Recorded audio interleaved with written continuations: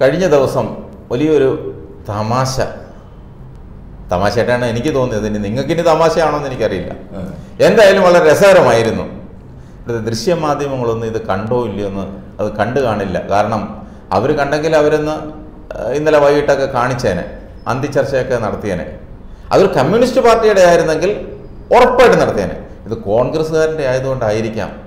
അത് അവർ വിട്ടുപോയതോ അല്ലെങ്കിൽ മനഃപൂർവം വിട്ടതായിരിക്കത്തില്ല. ചിലപ്പം പിന്നെ അത് അറിയാതെ പോയതായിരിക്കാം. വിട്ടുകളഞ്ഞതും ആവാം. വിട്ടുകളഞ്ഞതും ആകാം. എന്തുമായാലും നടന്നത് എന്താണെന്നറിയോ? രാജ്യത്തൊട്ടാകെ കോൺഗ്രസ് ഗ്യാസിനും പെട്രോളിനും ഡീസലിനും ഒക്കെ വില വർദ്ധിച്ചതിനെതിരെ പ്രതിഷേധം നടത്തി. ഉപവാസം ധർണ തുടങ്ങി വലിയ പ്രതിഷേധമാണ് നടത്തിയത്. രാജ്യത്തെമ്പാടും നടത്തിയെന്ന് പറയുമ്പോൾ കേരള കോൺഗ്രസ് ഇന്ത്യ മൊത്തം സമരം നടത്തിയതുപോലെ എന്ന് ഞാൻ പറയുന്നില്ല. എങ്കിലും അതിന്റെ ഭാഗമായി ഡൽഹിയിൽ രാഹുൽ ഗാന്ധിയൊക്കെ പങ്കെടുത്ത സമരം നമ്മൾ കണ്ടു. ഗ്യാസ് കുറ്റിയിൽ റീത്ത് വെച്ച്. അത് നമ്മൾ കണ്ടു. പക്ഷേ കേരളത്തിലും കെ പി സി സി ഓഫീസിന്റെ മുന്നിൽ ഗ്യാസ് കുറ്റി വെച്ചിട്ട് അതിന്റെ മുമ്പിൽ ആ ഗ്യാസ് കുറ്റിയുടെ മുകളിൽ പൂമാലയൊക്കെ ഇട്ട് അതിന്റെ പിന്നിൽ ഇങ്ങനെ നേതാക്കന്മാർ നിരന്നിരിക്കുന്ന ഒരു ചിത്രമൊക്കെ നമ്മൾ ഇന്നലെ കണ്ടു. അതെവിടെയാ? K P C C office ഇന്ദിരാഭവന്റെ മുന്നിൽ. ഇന്ദിരാഭവന്റെ കോമ്പൗണ്ടിനകത്ത്. കോമ്പൗണ്ടിന് പുറത്തുമല്ല കോമ്പൗണ്ടിനകത്ത്. എന്തൊരു ഇത്? വന്ന് വന്ന് കോൺഗ്രസ്സുകാർക്ക് ഒരു ബോധമില്ലയോ? അതോ പൊട്ടം പൊട്ടൻ കളിക്കുവാന്നോ? അതോ നമ്മളെ പൊട്ടരാക്കുവാന്നോ?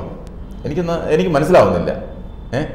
ഇത് ബി ജെ പി ഇത് പുറത്ത് സാധാരണഗതിയിൽ സമരങ്ങൾ ചെയ്യുന്നത് കേന്ദ്ര സർക്കാരിനെതിരെയാണെങ്കിൽ കേന്ദ്ര ഗവൺമെന്റിന്റെ ഓഫീസുകൾക്ക് മുന്നിലാണ് സമരം ചെയ്യുന്നത്.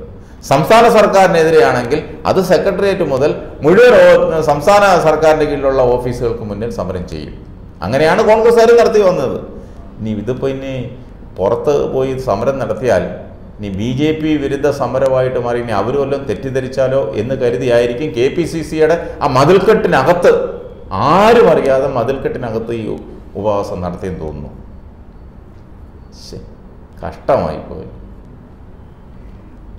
ആ ആശയ ദാരിദ്ര്യം വന്നാൽ ഒരു പാർട്ടിക്ക് ഇതിലപ്പുറത്ത് താഴാനാവില്ല.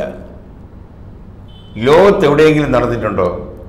അല്ല അതിന് ഒരു ഒരു കാരണം പറയാം. ഇപ്പം നമുക്ക് കൊച്ചുകുട്ടികൾ അല്ലെങ്കിൽ നമ്മൾക്ക് തന്നെ വിശന്നാൽ കൊച്ചു നല്ല കൊച്ചു കുട്ടികൾക്ക് വിശന്ന് കഴിഞ്ഞാൽ അച്ഛന്റെയും അമ്മയുടെയും മുമ്പ് വെച്ച് അല്ലെങ്കിൽ അടുക്കളയിൽ വെച്ചല്ലേ പിന്നെ പറ്റി വിളിച്ച് കരയുന്നത്. അയ്യോ അയ്യോ എനിക്ക് വിശക്കുന്നു ആഹാരം തരണേ പാൽ തരണേ എനിക്കത് കിട്ടിയില്ല എന്ന് പറയുന്നത്. അതുപോലത്തെ രീതിയിലൊക്കെ എടുത്താൽ മതി. കോൺഗ്രസ്സുകാരന്റെതല്ലേ അപ്പൊ അങ്ങനെ വിചാരിച്ചാൽ മതി.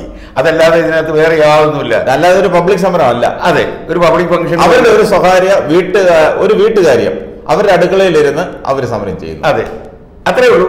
വിശക്കുന്ന ഒരു കുഞ്ഞിന് കുഞ്ഞ് ചോദിക്കുന്നത് എനിക്ക് പാൽ കിട്ടിയില്ല എനിക്ക് അപ്പം കിട്ടിയില്ല അല്ലെ എനിക്ക് ബ്രെഡ് കിട്ടിയില്ല എന്ന് പറയുന്ന പോലത്തെ ഒരു പിന്നെ അടുക്കള സമരമായിട്ട് കണ്ടാൽ മതി ഇതിനെ. അല്ലാതെ വേറൊരു സമരമായിട്ട് കാരണം കോൺഗ്രസ്സുകാർക്ക് പണ്ടേ നമുക്കറിയാമല്ലോ സമരം ചെയ്യാൻ അറിയില്ല.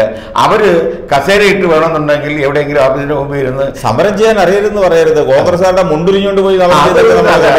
അതങ്ങനെ ഒരു ഒരു അബദ്ധം പറ്റി. ഏത് ഏത് കഴുതയ്ക്ക് ഒരു അബദ്ധം പറ്റുമെന്ന് പറഞ്ഞ് കണ്ടിട്ടുള്ളവര് ഏത് ഏത് പോലീസുകാരനും ഏത് പോലീസുകാരനും ഒരു അബദ്ധം പറ്റിയെന്ന് പറഞ്ഞ പോലെ രാജ്മോഹൻ ഉണ്ണിത്താന്റെ തന്റെ മുണ്ടഴിഞ്ഞു പോയി എന്നുള്ളതാണ് എന്റെ ഒരു സത്യം. അല്ലാതെ മുരളി ഉരിയിച്ചതല്ല ഉന്നയിച്ചതുമല്ല എന്നാണ് കോൺഗ്രസ്സുകാർ പറയുന്നത്.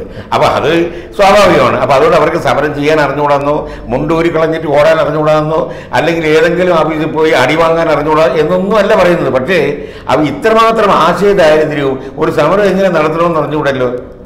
ഡൽഹിയിൽ രാഹുൽ ഗാന്ധി എന്താ ചെയ്തത്? പബ്ലിക്കായിട്ട് മെയിൻ റോഡിൽ വന്നിട്ട് ഗ്യാസ് കുറ്റിയുടെ പുറത്ത് റീത്ത് സമർപ്പിച്ച് അയാൾ സമരം ഉദ്ഘാടനം ചെയ്യുകയായിരുന്നു. ആ ഒരു ബോധമെങ്കിലും നമ്മുടെ ഇവിടുത്തെ ആളുകൾക്ക് വേണ്ടിയിരുന്നു. അപ്പൊ അവർ അത് ചെറിയ നേതാ- ഇത് കെ എസ് യുക്കാരോ അല്ലെങ്കിൽ കൊച്ചു പിന്നെ ബാലസംഘം സംഘങ്ങളോ അങ്ങനെ വല്ലതും ആണെങ്കിൽ നമുക്ക് പിന്നെയും പറയാം. അവർ കുഞ്ഞു കുട്ടികളല്ലേ എന്ന്. ഇത് മൂത്ത കോൺഗ്രസ്. അതെ. യൂത്തന്മാരും അല്ല മൂത്ത കോൺഗ്രസ്. മൂത്ത കോൺഗ്രസിലെ അഖിലേന്ത്യാ നേതാവ് ഉൾപ്പെടെ. അല്ല നേതാക്കന്മാരുടെ ഒക്കെ പേര് പറഞ്ഞ ഞാനിവിടെ പറയുന്നില്ല. അല്ലെ അതിന് പ്രത്യേകിച്ച് വേറെ കാരണം അവർക്ക് വെയിൽ കൊള്ളാനാവില്ല മുമ്പിലാണ് വെയിൽ വെയിൽ കൊള്ളാൻ പിന്നെ ആവത്തില്ല ഒക്കെ സമ്മതിച്ചു. വെയിൽ കൊള്ളണ്ട. അവിടെ അവർ എവിടെ സമരം ചെയ്താലും അവിടെ ഷാമിയാന പന്തലിട്ടാണ് അവർ സമരം ചെയ്യുന്നത്. അല്ലെ വെയിലത്ത് ആരും കുത്തിയിരിക്കാറില്ല. വേണമെങ്കിൽ ആ പന്തലിനുള്ളിൽ എ സി വരെ വെച്ചായിരിക്കും അവർ സമരം ചെയ്യുന്നത്. ഉപവാസം എന്നൊക്കെ പറയുന്നു രാവിലെ പിന്നെ വയറ് നിറച്ച് ആഹാരം കഴിച്ചിട്ട് ഉച്ചയ്ക്ക് ഒരു മണി വരെ അവിടെ കുത്തി ഇരുന്നിട്ട് ഉച്ചയ്ക്ക് പോയി ഉച്ച ഊണും കഴിക്കുന്നു. ഇതാണ് അവരുടെ ഉപവാസം. അല്ലാതെ വേറെ ഒന്നല്ലല്ലോ അവരുടെ ഉപവാസം.